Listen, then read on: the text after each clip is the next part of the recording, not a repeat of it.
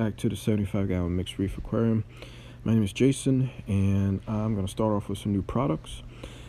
Easy Reef by Matchstick the smaller already mixed up size. The fish really love this.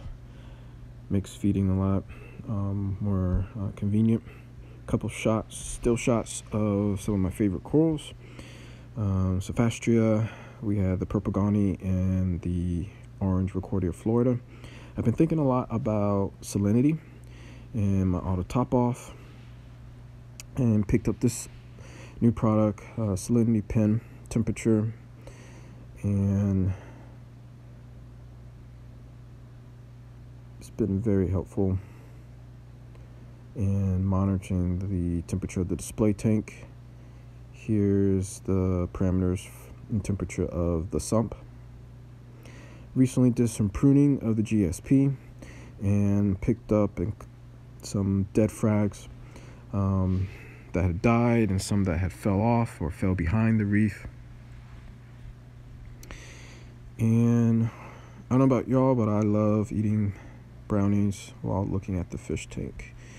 So the biggest update here is that the reef is full um, but it's so beautiful to look at. One of the things I'm running into is things leaning up against the glass. So there's there's the one coralline algae in the center of the tank that's always been there simply because as a rookie I made a mistake of packing um, a little bit too much rock in a reef.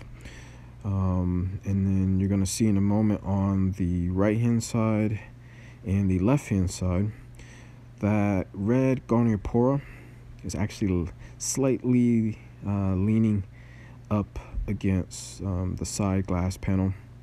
And then on the other side you have the uh, purple wild bubble coral.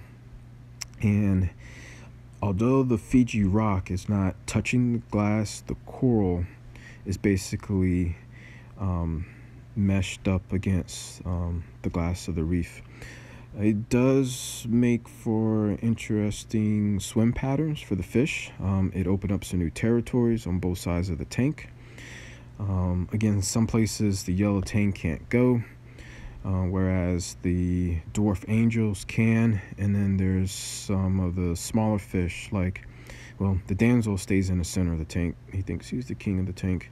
But you have the royal gramma and the purple dotty back um, and of course the the wrasse sleeps in the sump. I do want to pick up um, a second or third wrasse simply because if they do sleep in the sump, um, hopefully there won't be as much um, tank aggression. So just want to do a quick update. Um, all the SP all the um, I guess easy or to keep SPS are doing really well.